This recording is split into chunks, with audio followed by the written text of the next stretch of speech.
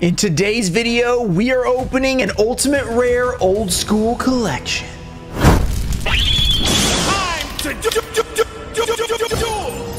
What's up guys, we're back with another epic video opening some amazing cards in this collection, but first we have a giveaway. I'll be giving away these 14 Darkwing Blast first edition packs. There's a $17 super in here, there's a $50 ultra rare, so could be some pretty good packs. Just like the video, be subscribed, turn on notifications. And I want to remind you guys to go check out the community tab if you haven't yet, because there you can see if you want a giveaway. Also, speaking of giveaways, if you get a Telegram comment in the comments, that is a scammer. I've said this many times, but not enough apparently, because a lot of people are still asking me, is this a scammer? But it feels like most of you guys are knowing at this point. But I just want to remind you guys one more time, let's hop into the binder. This is a binder opening. You guys know how that goes. So we're going to cut from the face cam, go right to just the binder footage so you guys can see it really well, and we'll hop back and forth between that. All right, so we have an Ojama King. This is a bunch of ultimate rares and secret rares from GX for the most part. We got a Venominaga, very nice. There's a new one. There's the Arm Dragon level 10. That's actually a really cheap ultimate rare, which is kind of weird.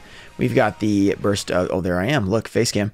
We've got the uh, burst stream of destruction. We've got ourselves a bunch of decent stuff. Okay, a little bit of old school here, which is nice.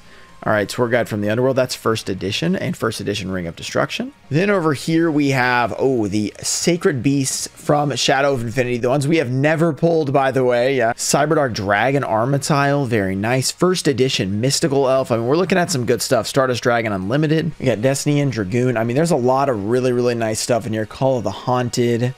We've got our Old Vindictive. Is that from Champion Pack? That's really nice. We've got ourselves the Ojama King First Edition, which is cool. The, ooh, a little uh, Diamond Dude Turbo over here. Very nice. D-Time, little D-Time, you know what I'm saying? All right, next we have uh, Elemental Hero Tempest. That's an ultra rare, unfortunately. That'd be really cool if it wasn't. Uh, if you know, the ultimate rare. We've got the Flame Wingman. Should have brought that to get signed by Jaden. That would have been pretty cool. I didn't get anything signed because lines were pretty long and I, I missed them, unfortunately. We've got Dark Neos. So these are all appear to be ultra rares for the most part see if we see any ultimate rares. These all look like to be their ultra rares, which is still a really cool collection. All right, Inferno Wing. We've got Thunder Giant, Flame Wingman. We've got some secret rare stuff. These are from the uh, the EHC. These are actually pretty valuable secret rare versions of the Elemental Heroes, which is pretty cool. Sparkman, all the vanillas. Emergency Call. We got uh, the Hero Blast. Okay, I was about to say Elemental Hero Blast, which is basically is. It just doesn't say that. All right, very nice. Skyscraper is pretty cool for the heroes. If you play that in a Skyscraper hero deck back in Edison. Miracle Fusion is really, really nice. Going to end up hanging on to that one probably for my uh, Edison deck. The Secret Rare Neos. He finally did get a nice printing in the Pharaoh Rare, but that took him a really long time. There's a uh, Wing Kuriboh. Wing Kuriboh level 10. Transcendent Wings. I love that set. That's cool to actually have.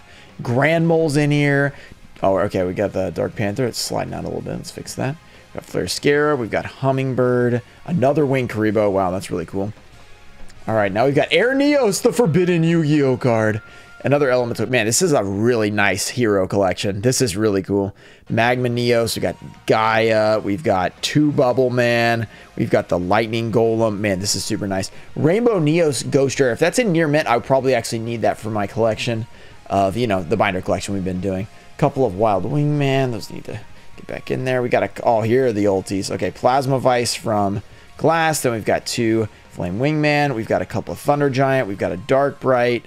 Beautiful. Really, really cool. Rampart Blasters. Wow. We've got a wow. Okay. This is a really, really nice collection. This is going to be really expensive. oh my goodness. We've got the Glow Neos. And yeah, make sure to let me know in the comments how much we should pay for this, but this is going to be a pretty big one. That's a uh, an unlimited Tempest. If it was first edition, we would probably be broke right now. I've got a, oh, Pot of Greed. What does it do? I'm not sure what that says. Chaos Neos. Beautiful. I think I need that one. That's really, really nice. And then we've got Glow Neos. And is this the, uh, I think that's the gold letter. Yeah, so that's actually the real one, which is cool. Then we have Grand Neos. Oh my gosh, look at these. Thunder Giant.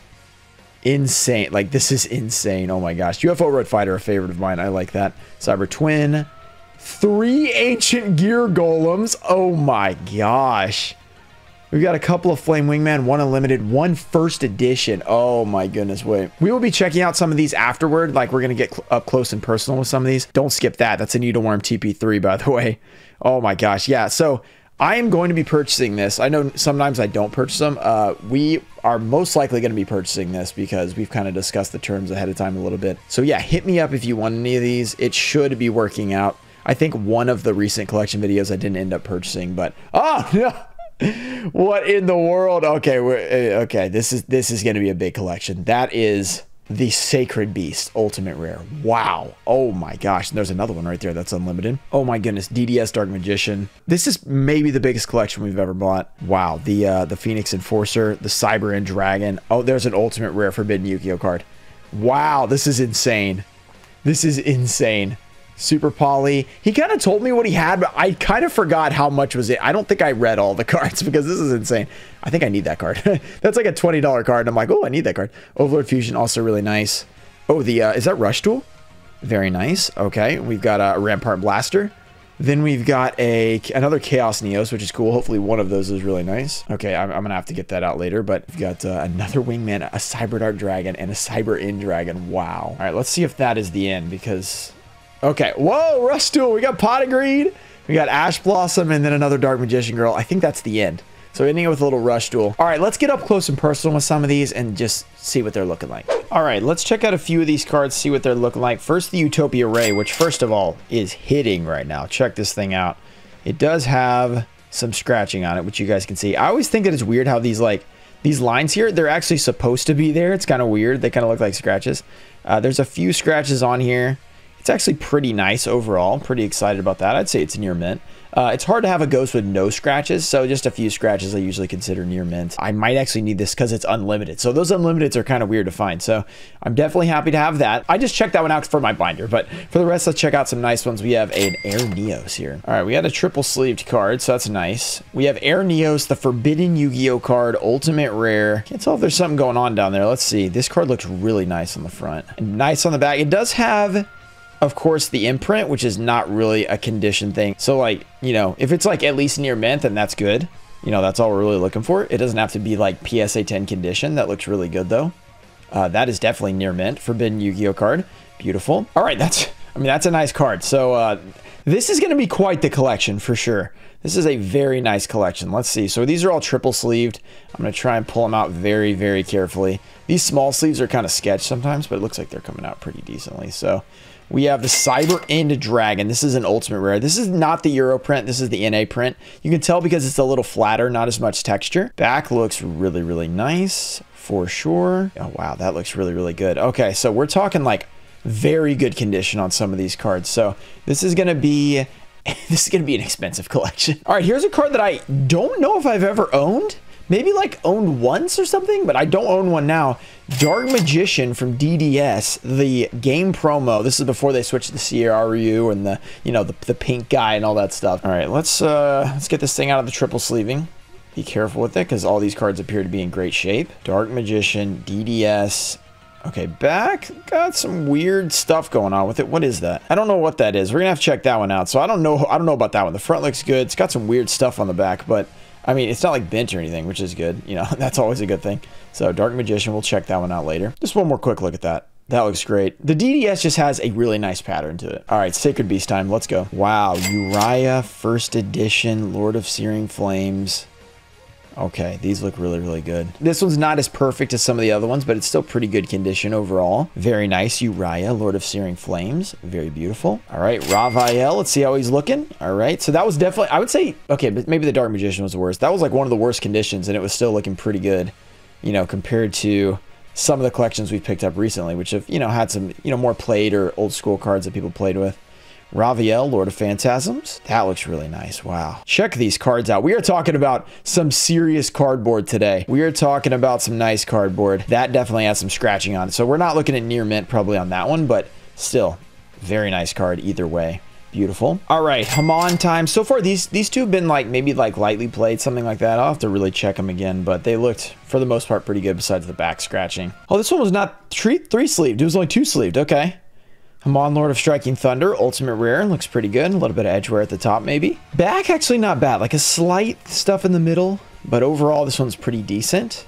Honestly, they're all in decent condition. They're just not like, you know, mint or whatever. Just give those a look. Ultimate Rares, that is insane. You don't see those very often. I mean, those are expensive cards for sure. All right, now we have the Rainbow Neos from Phantom Darkness. Just unlimited, but wow.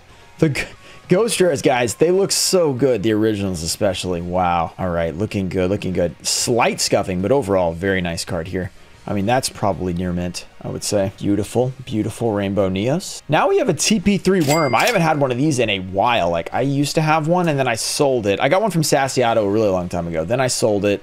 Uh, I was buying something. I don't remember what it was. And then, you know, haven't had one since then. Surface looks good. It looks good.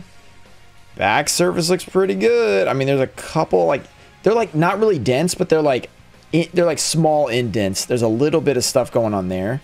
Overall, this is a pretty good condition card. Pretty fair, at least. Fair is probably an understatement, but, you know, I think that's like a real condition they use in like Europe or something. Here's one. I don't know. Have I ever owned this card? I think maybe a long time ago I had one. Because I... Back when cards were like $300 max, I owned a lot of cards, you know, and then, you know, they changed hands and stuff. I sold them or whatever, but uh, they got a little bit too expensive to like pick them up anymore. Here we go, Flame Wingman. We saw one of these at Collecticon. Yugimo picked it up. There's a little scuffing at the top. Or not scuffing, but uh, edge wear. That's like it, though.